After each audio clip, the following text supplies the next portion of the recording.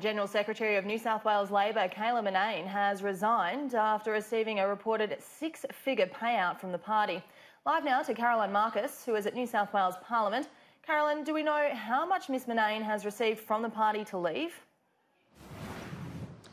Well, the party hasn't confirmed the exact figure. It says it is a confidential settlement that she has reached this morning with New South Wales Labor in order for her to resign as the General Secretary of the party's branch here in New South Wales. However, it has been reported that this figure could be as much as $700,000, which would include her statutory entitlements as well as her legal costs of appearing before the ICAC. Now, uh, yesterday I put it to the New South Wales Labor leader, Jodi McKay, this figure. She couldn't confirm it, as she said she hadn't been briefed exactly on negotiations, but she did say that she believed that Ms Murnain was entitled to receive her lawful entitlements. Now, uh, Party president here in New South Wales, Mark Lennon, released a statement earlier today. He said the terms of the separation agreement are confidential but consist of Ms Murnain's basic legal entitlements.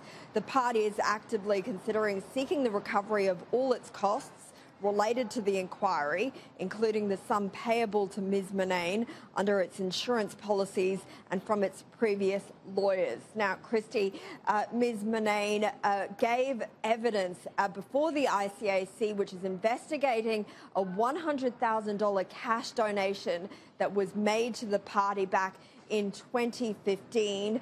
Ms. Murnain had told the hearing that she was told about this donation uh, a year later by the then MP Ernest Wong and told that the true source of the donation was a prohibited donor, Huang Xiang Mo, and that uh, fake donors had been used to cover up that donation, but she said that she did nothing about it at the time because of legal advice that she received from the party's lawyer who disputed her account. Now, because of this damaging evidence before the ICAC, Jodi McKay, the leader of New South Wales Labor, moved to suspend her. She has since announced a review of the party alongside federal opposition leader Anthony Albanese over the weekend.